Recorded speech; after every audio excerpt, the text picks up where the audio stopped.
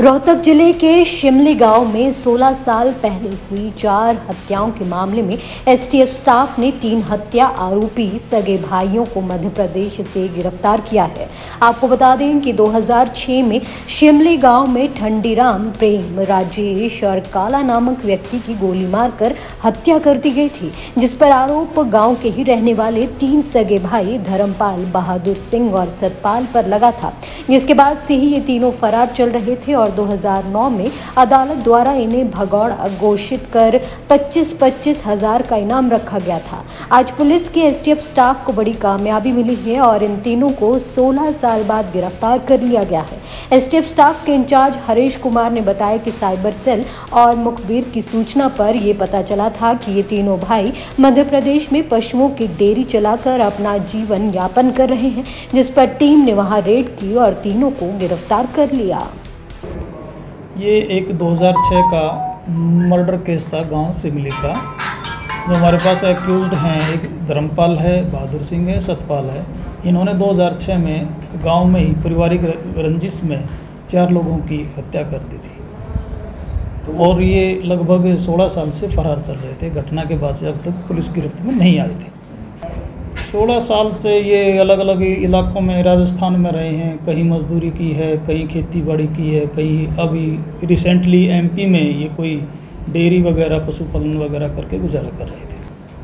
हत्या में arms act arms इस्तेमाल किए थे। ये पहले सीआरपीएफ में थे और वेल शूटर रहे हैं।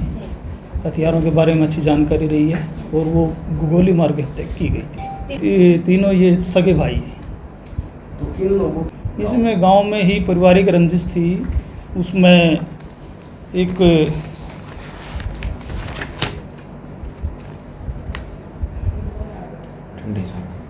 ठंडीराम प्रेम राजेश ये तीनों ही भरत सिंह के पुत्र थे और एक काला पुत्र महेंद्र सिंह था गाँव। इसके सिमली के ही रहने वाले थे चारों से क्या? आपसी रंजिश तो परिवारों की थी आपस में प्रॉपर्टी को लेकर विवाद था या कोई अंदर विवाद नहीं प्रॉपर्टी को लेकर विवाद नहीं था कोई आपस में वैसे रंजिश था। अच्छा, हाँ इसके ऊपर पच्चीस हज़ार रुपये का पच्चीस पच्चीस हज़ार रुपये का तीनों पर ही इनाम घोषित किया हुआ था।